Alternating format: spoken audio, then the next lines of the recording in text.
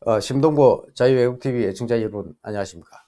어, 글로벌 디펜스 뉴스 애청자 여러분들도 편안하시죠? 어, 나라가 매우 어지러운데요. 어, 올해를 넘기면은 어, 굉장히 좋은 일이 많이 있을 것 같습니다. 힘을 갖고 어, 전진하도록 합시다. 어, 지난주 목요일인데요. 12월 19일에 어, 출범을 했습니다 한반도 선진화 재단에서 출범을 했는데 어, 그때 출범식 겸 어, 기자회견이 있었습니다 그 자리에서 어, 자유시민 정치회의의 안보 정책 기조에 대해서 제가 작성한 것을 제가 직접 발표를 했습니다. 제가 저 공동대표자격으로 발표를 했습니다. 어, 그 동영상을 보신 분들께서 안보 정책 기조와 별도로 어, 방송을 좀 해주면 좋겠다는 요청이 있어가지고요. 오늘 별도로 이 부분만 어, 다시 한번 여러분들께 에, 방송으로 소개해 드리고자 합니다. 10월 항쟁 자유시민 정치회의 안보정책 기조 반인도 범죄자 김정은의 수석 대변인으로 불리는 문재인 정권의 반국가적 안보정책은 총체적인 파탄을 맞았다.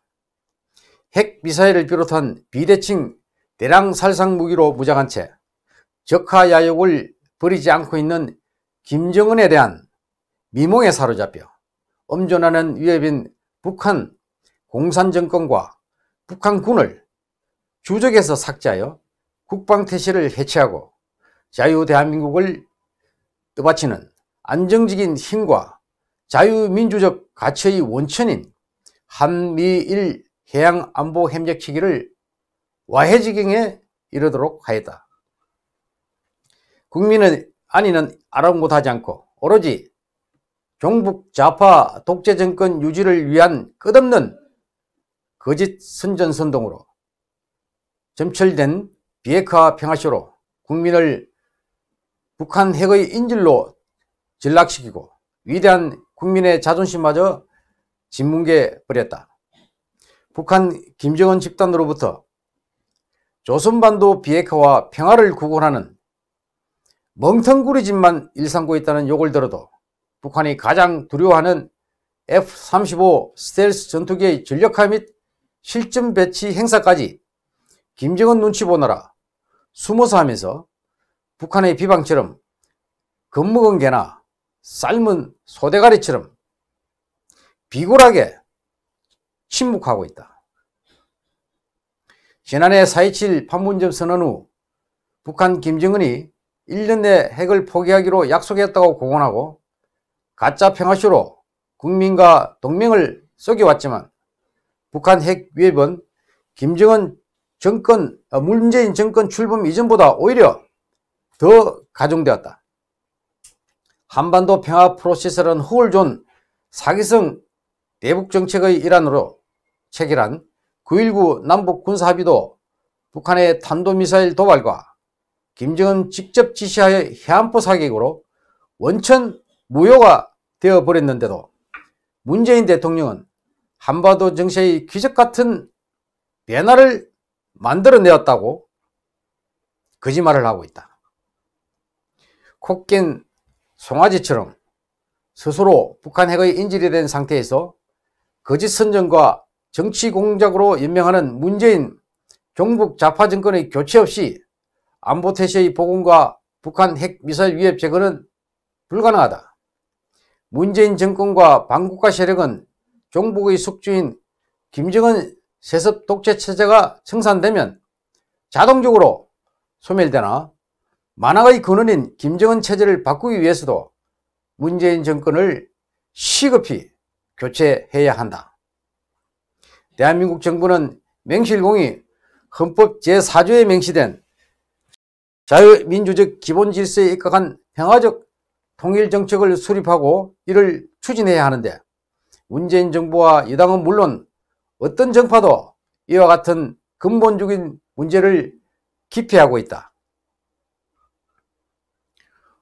오늘 출범하는 자유시민 정치회의는 자유민주주의와 시장경제를 지키기 위한 모든 자유민주 세력을 아울러 김정은 체제를 청산하여 북한 주민을 해방시키고 북한 핵 위협을 제거할 것이다.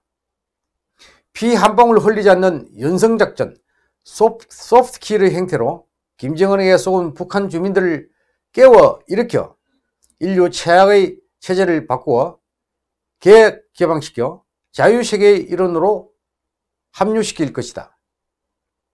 정보작전, information operation에 의한 대북 사실투사, truth projection으로 북한의 전략적 중심인 김정은 우상화 리더십을 와해시켜 세습 독재 체제를 붕괴시키고 문재인 정권과 반국가 세력의 뿌리를 뽑아버릴 것이다. 자유시민 정치회의는 북한 김정은 집단과 반국가 세력의 볼모가 된 문재인 정권이 내팽개친 국민의 자존심부터 회복시킬 것이다. 잘해주고도 겁먹은 게 삶은 소대가리, 평화국을 멍텅구리와 같은 욕을 듣지 않도록 할 것이다. 대신 정직하고 도덕적 책무와 국가 이익과 국가 정체성에 충실한 정권으로 교체하여 국가 지도자와 국가에 대한 위대한 국민의 자부심을 회복시킬 것이다. 북한 핵 위협으로부터 벗어나서 확고한 안전이 보장된 상태에서 자유와 책임을 신바람나게 향유하게 할 것이다. 국가 보위의 상징인 군복 입은 군인이 국민으로부터 사랑받고 자부심을 가질 수 있게 할 것이다.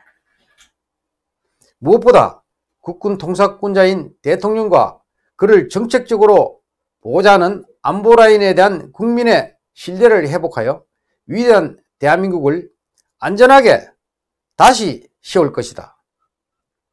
이에 자유시민 정치회의는 물리적 안전보장, 경제번영, 자유민주적 가치, 그리고 법치 질서 확립을 통한 국가 이익을 극대화하기 위한 핵심 국가 안보 정책을 다음과 같이 제시한다.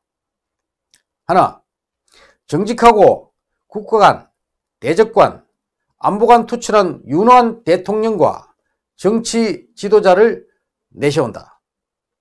둘, 국가 안보 전략 최고 전문가로 안보라인을 구성하여 국익에 충실한 안보 정책을 보좌하고 주도하게 한다. 셋, 주, 준항공공사나 다름없는 9.19 남북 군사 합의를 폐기하고 주적을 복원하여 정해야 된 강력한 자주 국방태세를 확립한다. 넷, 북한 비핵화 시까지 전시작전 통제권 전환을 보류하여 한미연합 방위태세를 강화하고 미국 주도의 인도 태평양 전략에 적극 참여하여 자유진영이 주도하는 세계 평화에 능동적으로 기여한다.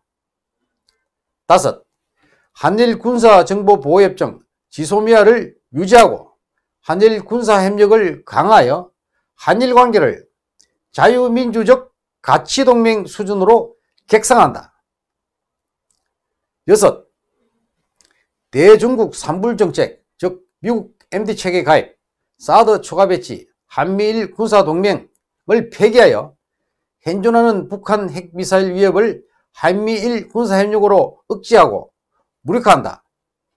일곱, 국군 포로를 송환하고 탈북민의 처우와 북한 주민의 인권을 개선하며 평화적 자유통일에 대비하여 북한 평정작전과 남북 군사통합을 준비한다. 여덟, 남녀 차별 없는 경쟁적 국민개병제로 병력제도를 계획하고 예비역 군인의 재복무 기회를 제공하여 병력난을 해소하고 북한의 군사 위협에 대비하는 적정 상비 병력을 안정적으로 확보한다. 아홉, 악성 규제 일변도의 방만한 방위사업청을 폐지하여 소유권 중심의 전문화된 방위사업 관리체계로 전환한다. 열, 국군을 국민으로부터 사랑받고 적이 두려워하는 강력한 스마트 군대로 혁신한다. 2019년 12월 19일 10월 항쟁 자유시민정체회 이상입니다. 감사합니다.